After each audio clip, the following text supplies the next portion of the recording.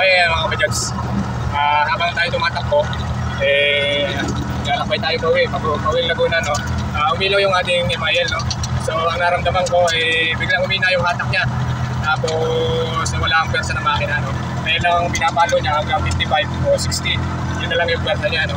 So, ayan. Mamaya i-check natin kung ano naging problema niya. So, ayan, mga kabajads. So, ah, pauwi kami ng Laguna. So, umilaw yung aming MIL. Ah, biglang lalo naman lang. So, biglang umina ang hatak. So, yun ang ating i-check ng mga mga kabajads. Mamaya, ah, titigil tayo sa ating may parking na maganda ah, para ma-check natin kung ano yung naging problema. So, ayan, mga kabajads.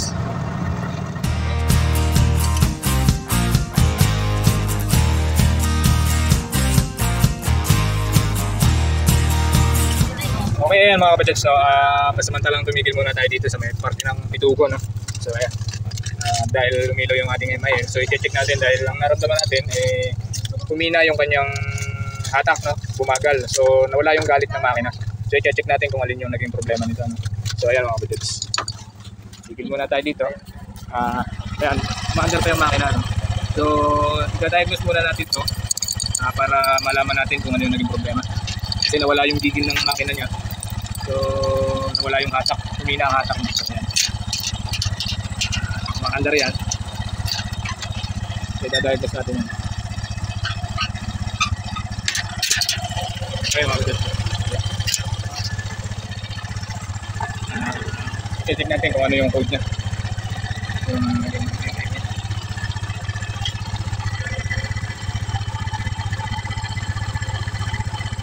So, isang code, no? Ayan. So, ang nakikita nyo, eh, auto sensor circuit no activity detective detective bank 1 sensor 1 so ang i-check natin ito ito sensor na to. Ito nasa tambucho ah i-tester muna natin kung bakit nawala siya ng activity no? So ayan mga kapatid so ayan yung code niya. Ah nawala nawala siya ng hatak ah, humina no? So ayan nawala yung galit ng makina. So ibig sabihin nawalan ng signal tong ating sensor na oxygen So kaya hindi makapag-produce ng magandang gasolina yung ating injector dahil nawala ng activity itong ating oxygen sensor ito nasa tambutso. So yan yung ating alamin ngayon no? kung ano naging problema nito sensor. So ite-tester natin to. So ayan mga kabajads. Okay ito mga kabajads no. Uh, umaandar pa yan. So medyo mainit pa yung ating sensor. So ite-tester muna natin yung kanyang heater. Kasi baka doon nagka-problema sa heater niya. Uh, heater sensor yun eh, yung 134. So no activity. So ite-check muna natin. So ayan mga kabajads. Ah, ipupwesto natin sa 200 ohms. Ayan. Ah, sa ohms. Ah, check natin yung kanyang heater. So ayan, kailangan magkakaroon siya ng reading. No? So habang maandar yan, i-check natin. So hugutin natin to mga kabajads. Oh. Itong ating ah, wire. Ayan. Tapos i-tester natin yan. So ganito yung pag-check niya no, habang mainit pa. So ito yung positive ng heater. Yan. Tapos yung negative yan. So ayan. I-check natin kung So ayan, okay naman. Ayan mga kabadjats, pumapalo siya no. So ibig sabihin walang problema yung kanyang heater. So ang isusunod natin i-check ay itong uh, sensor signal no. Ito yung positive niya, yung dulo, tapos yung ground niya ito. Same lang din ulit ng ano, uh, ilalagay natin sa voltage naman siya no? So ayan 200 volts. Titingnan natin kung mag so ayan no? Ayan mga kabajads wala siyang hanggang 1 lang no? So wala reading yung ating sensor signal no?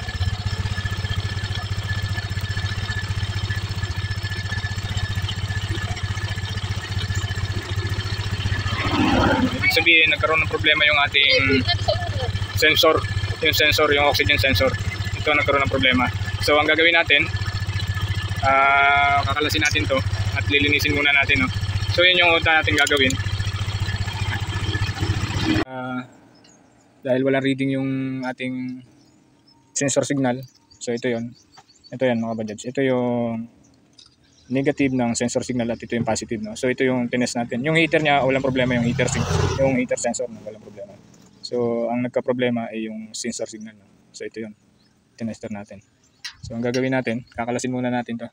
Uh, palalamigin lang natin ng konti para hindi malustred yung ating sensor. No?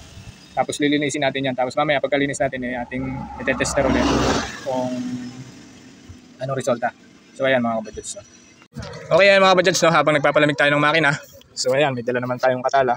Tsaka much better na mainam na may dala kayong mga ganitong multitester no? Para pagka ganong problema eh hindi nyo kailangang ipagsa walang bahala yon o kung wala naman kayong malapit na mapapagpagawaan eh wag nyo nang pupwersahin ng makina. Kasi doon may tendency yun na mabengkong ang inyong barbula no? Dahil hindi hindi makapag-reading ang ECU na maganda ah dahil sa hindi na to nagbabato ng signal no? So sa ECU ang trabaho nito eh siya yung ah, bumabasa ng init ng makina natin para ibato dun sa ECU kung gaano karaming gasolina ang ilalabas ng injector. So ang naging problema nito, eh, malamang sa malamang na humina ang bato ng gasolina ng injector natin kaya nawala yung hatak niya. No? So ang possible nun, iinit na sobra ang ating makina. Tapos pag pinwersa natin ang pinwersa, ah doon, possible niyan, mabasag ang piston o mabengkong yung ating barbula. So kaya itinigil ko muna, pinapalamig-lamig ko, ah, itinester ko. No? So naging problema nga yung ating sensor signal. No? So hindi siya makapagbato ng makapag-reading ng maayos dun sa sensor ay hindi niya mabasa nung computer box. Kaya mahina yung ibinabato ng injector na gasolina. No? Siya, kaya nawawala yung hatak, biglang humihina. No? So kakalasin muna natin to at lilinisin. Uh, hintayin lang natin lumamig ng konti. So ayan mga kabadjats. No? So yan yung mga check engine o yung na kailangan hindi nyo ipagsawalang bahala. No? Kasi nagkakaproblema yung makina natin dyan. So dyan magsisimula yung mga sira. No? So ayan mga kabadjats. Meron naman mga MIL na pwede nating itakbo kahit nakailaw siya, ay walang problema doon. Kaso ito, ang naging problema niya ay itong sensor na to. So ayan. Ang naging problema ng aking unit ay ito. Bigla na lang umilaw, ibig sabihin hindi siya nag-activity, no? Ano, nawala siya ng signal. So, susubukan muna natin i-troubleshoot. Kasi nandito pa tayo sa, medyo malayo pa ako sa Kalamba. Ah, parking Quezon pa to, ah, Itugo. So ayan. Ayan mga bajads, no? So ayan mga bajads. Mangga. Okay mga budgets, so. Nakakalasin na natin yung sensor.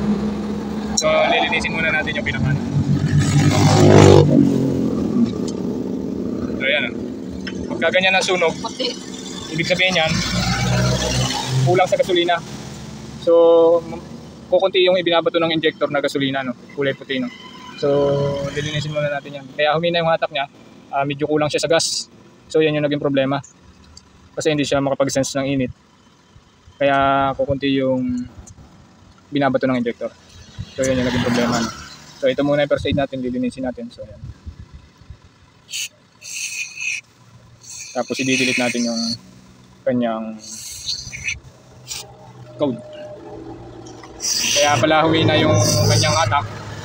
Eh, kakaunti ang gasolina ang ibinabato ng injector. So, yun naging problema niya.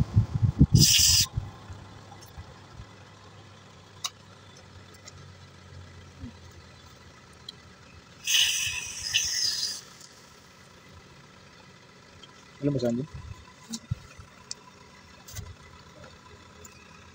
Bakit ano? Natin ang kasama dito.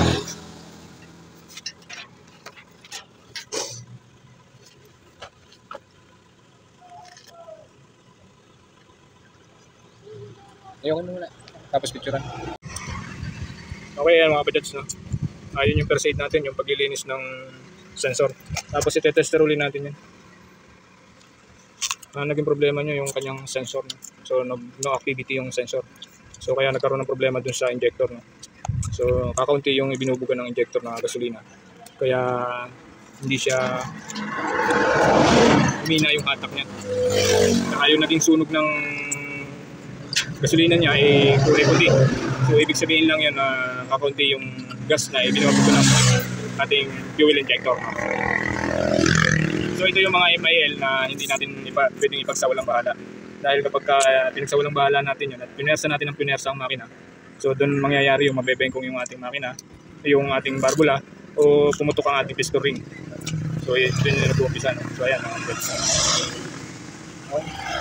So ayan, mapapansin nyo, ito yung negative. Itong dalawang to, negative yan. Yan, itong dalawang to, negative yan. Tapos yung dalawang nasa tabi, itong dalawang nasa tabi na to, yan yung mga positive. Ito, positive ng heater, heater control. Tapos ito yung positive ng signal, sensor signal. Tested muna natin yung heater, yung pinaka-heater niya, kung ilang volt bang kanyang pula, ah, heater control. So ayan, 15 volts, 14.9 volts. So ibig sabihin walang problema yung heater no. So ang i-check natin, ito. Itong kanyang sensor. Titingnan natin kung kailangan magkaroon ng voltage yan. O sa pagpupesto nga pala niyan. So ayan. Check nyo dito. O kaya dito sa ohms no. Pag mag-check kayo ng continuity ng ating heater. So ayan. Nakapwesto yan sa ohms. At 200 ohms. So kaya itong pinaka beep niya no. So yan yung pag-check. So yan, ah, pakita ko sa inyo.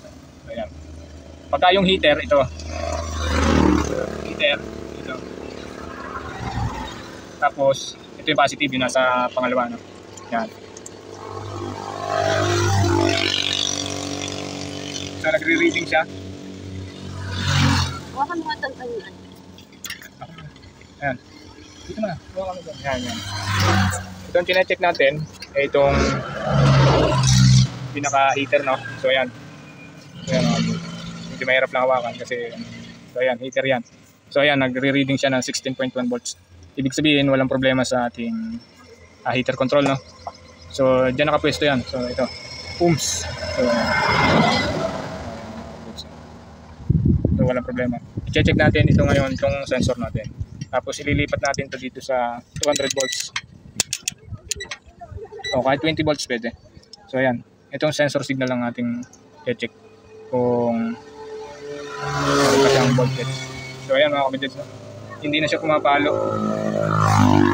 Ayan. Wala na siya reading. Hindi nagre-read yung ating sensor. Ito yung sensor signal sa loob nito. Ibig sabihin nagkaroon ng problema dito sa signal dito sa loob. So ayan, wala reading ng voltage na. So dapat magkakaroon ng reading ng voltage yan. So ayan mga kabidets na. Yan ang naging problema. So titingnan natin, ay kakabit muna natin. Tapos i-delete natin yung code. Tapos papa, ayun, tatakbo na ulit tayo. So ibig sabihin ang sira niya ay itong sensor sa loob. So yun ang naging problema niya. Okay, kakabit na ulit natin yung Tapos i-delete natin yung code.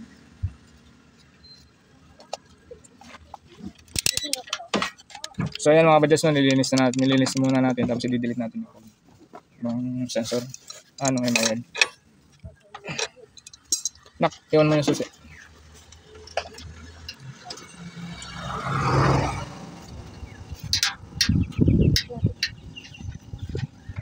Kanina may yan. Picture. Ayan. Auto sensor circuit no activity detected ba detected bank 1 sensor 1 so yun yung tinester natin kanina. Ngayon na siya pumapalo. So i-delete muna natin tapos itatakbulin natin.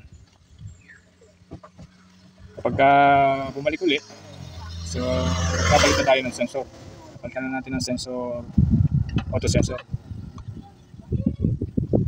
yan no codes na so yan mga bilads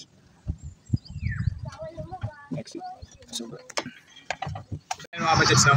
Ah, papanda rin na natin. Uh, delete na natin yung code.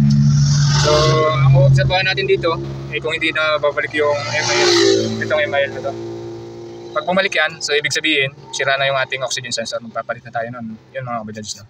So, kapag ka bumalik yun, ay hindi na natin pwedeng persahin yung ating makina. So, kasi may possible yun na mabengkong ang ating barbula o pumutok ang ating piston ring, no? So, yun yung mga posibleng mangyari. So, ayan mga budgets, no? So ayan mga budads, wala na yung MIL. So obserbahan natin kung babalik siya no. Habang naglalakbay tayo no, uh, pauwi ng Kalamba. So ayan mga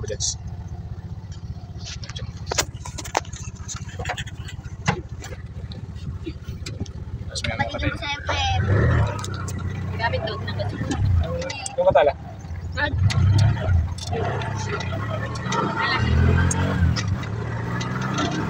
naging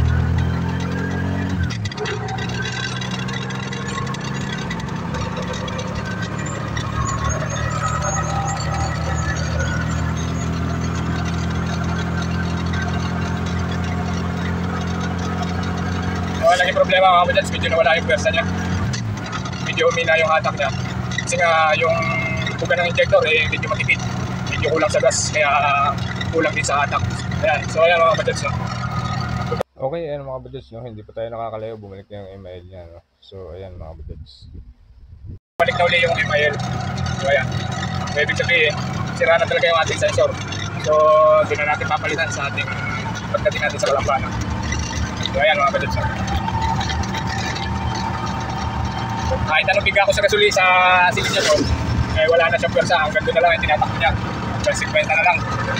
So, yan lang yung kanyang tinatakbo. Uh, hanggang 60. So, hindi na natin ito mapapapalo ng 70-80, no? So, ayan mga kabadyans. Hanggang dyan na lang yan. Kahit anong lupok ko ng kasilid niya, no? Eh, wala na. So, ayan mga kabadyans. Talagang sagad na ating throttle na tayo. So, wala siyang ihatak. So, ang naging problema niyan, yung oxygen sensor. So, kabadyans. Okay, yan mga kabadyans, no? Ah, bali, binabagtas na natin ang bayan ng Atimonan. So, dito ako dumaan kasi may dadaan pa ako sa puntod ng aking kapatid, no? So ayan mga bajads, uh, tinaga na natin itakbo yung ating unit. Kasi wala naman tayong mabibilhan dito ng oxygen sensor. No? So tatagayin na natin yan hanggang sa makauwi tayo ng Kalamba. No? So dumaan lang ako dito sa bayan ng Antimonan. Kasi dito, eh, dadaan muna ako sa puntod ng aking kapatid. No? So bibisitahin muna natin ang ating minamahal na kapatid. No? So ayan mga bajads. Okay yan mga bajads. No? So bali ito yung bayan na sinilangan ko. So, Atimonan Quezon. So, dito ako pinanganak at dito rin ako nagbinata. So, ayan yung view ng aming tabing dagat. So, ayan mga kabudyats. So, napakaganda ng dagat dito sa amin, no? Uh, Atimonan Quezon. So, ayan mga kabudyats. No? Ito, bali ito yung papunta na ng bayan. Bayan ng town proper ng Atimonan Quezon. No? So, ayan mga kabudyats. So, dito din yung makikita yung serena na nakaupo sa bato, no? So, estatwa lang yun. So, sabi-sabi ng mga matatanda nung una na may nakita daw sirena dito sa dagat na ito. Kaya nagkaroon dito ng estatwa ng sirena. No? So, ayan mga kabujads. Okay yan mga kabujads, no? Yun yung mga simpleng tips ko sa inyo kapag uh, nangyari ito sa inyong unit na bigla nagkaroon ng aberya sa daan o ito yung naging problema. So, ganun lang gagawin nyo. No? huwag nyo na pupirsahin yung inyong makina. No? So, ayan mga kabudads.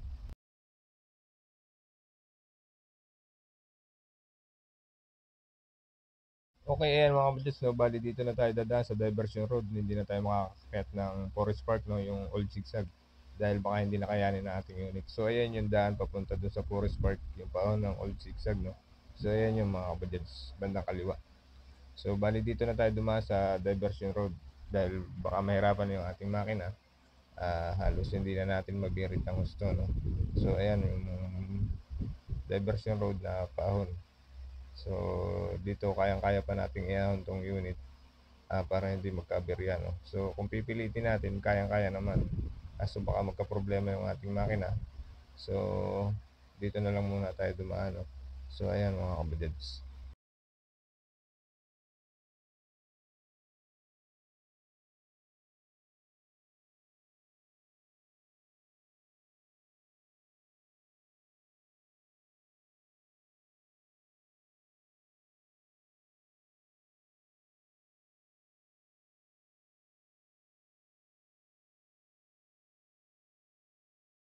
Okay, ayan mga budyals, no? Uh, malapit na tayo dun sa pinakatuktok ng ating tinatahak na daan dito sa diversion road. No? So, may makikita tayo dito magandang view. No? So, ayan mga kabudyals. So, pinipilit natin iahon to dito para kaysa dun tayo dumaan sa lumang sigsag o yun sa forest park. So, dito na lang. At medyo mababa ang pag pang-ahon dito. No? So, ayan mga kabudyals. So yun yung mga simple tips ko sa inyo kapag ka kayo ay bumabiyahe ng malayo at bigla ng gagarya. So tapos ganito, wala tayong mapapagpagaw, mabibili ng parts. So wala kayong mapapagpagawa ng malapit. So wag nyo na lang cover sa ilang inyong makina. Basta umaandar siya at tumatakbo. Ah, uh, wag nyo lang cover sa para hindi mag karoon ng malaking aberya ang loob ng makina. So ayan mga kapatid, tips ko sa inyo. So malapit sa Anderson Road. So sa pagitan ng Pagbilaw at mga yung travel natin yung galing tayo. So ayan kapatid, pauwi na ng Kalamba.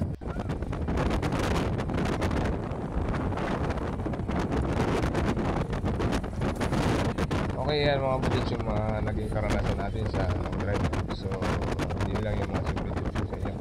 Pagka ganito nangyari sa inyo yung mga ganito si Thomas sa long drive. So, tumatakbo pa naman siya kasi wala siyang pinakamalakas na hatak.